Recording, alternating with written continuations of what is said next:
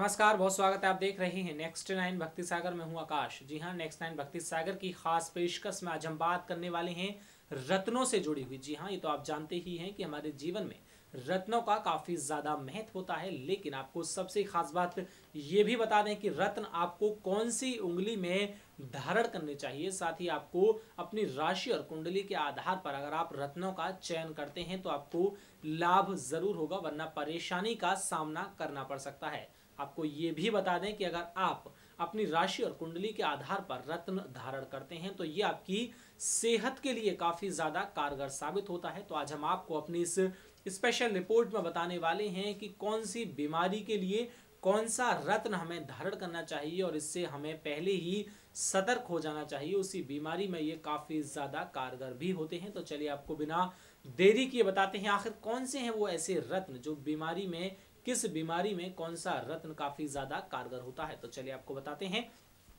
सबसे पहले पन्ना रत्न की बात करते हैं। अच्छी स्मरण शक्ति के लिए आप पन्ना रत्न धारण कर सकते हैं। वहीं नीलम को गठिया, मिर्गी, हिचकी एवं नपुंसकता को नष्ट करता है, इसलिए आप उसको धारण करें। वहीं फ्रोजा रत्न दैविक आपदाओं से बचाने के लिए फ्रोजा रत्न आपको धारण करना काफ़ी ज़्यादा फ़ायदेमंद होगा। वहीं अगर मरियम की बात करें तो आपके बवासीर या बहते हुए रक्त को रोकने के लिए मरियम रत्न काफ़ी ज़्यादा सुखद अनुभूति का एहसास कराता है। जी हाँ बात करते हैं माणिक रत्न की। रत्न वृद्धि के लिए आपको बता दें, आपकी रक्त वृद्धि के लिए माणिक रत्न काफ़ी ज़्यादा सुखद होता है। वहीं अगर आप मोती धारण करते हैं तो मोती धारण करने से आपके जीवन का जो स्ट्रेस है, जो तनाव है, उसमें भी आपको काफ़ी ज़्यादा फ़ायदा मिलेगा। आप चिंता मुक्त हो जाएँगे।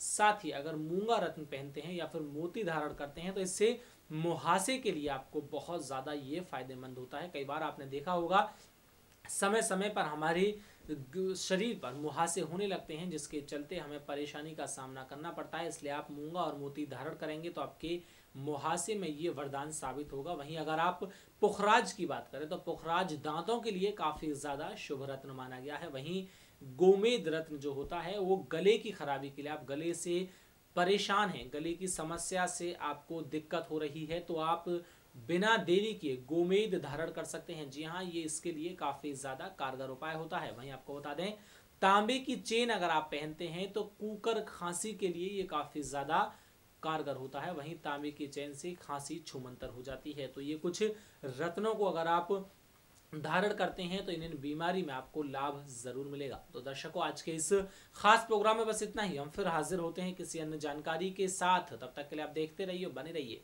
नेक्स्ट नाइन भक्ति सागर के साथ। नमस्कार।